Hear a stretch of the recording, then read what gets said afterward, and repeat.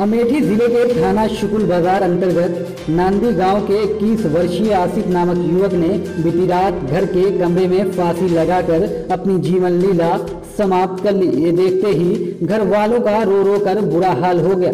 इस हादसे से पूरे गाँव में मातम सा छा गया। फिर कहीं जाकर घर वालों ने थाने में सूचना दी। सूचना मिलते ही थाना प्रभारी संतोष सिंह तत्काल मैं फोर्स के साथ मौके पर पहुंचकर लाश को कब्जे में लेकर पंचनामा करके पोस्टमार्टम के लिए भेज दिया और आगे की छानबीन शुरू कर दिया।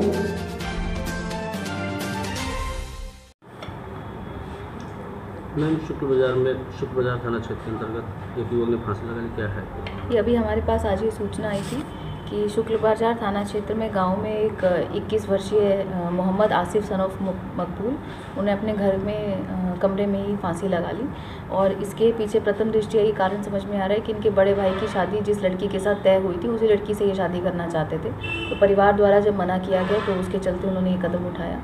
और इसमें तत्काल मौके पर पुलिस पहुँची, फ़ील्ड यूनिट को बुलवाया गया है और इसमें विधिक कार्रवाई की जा रही है। जैसे ही परि- परिजन जो उसमें कार्रवाई चाहेंगे, वो कार्रवाई कर दी जाएगी।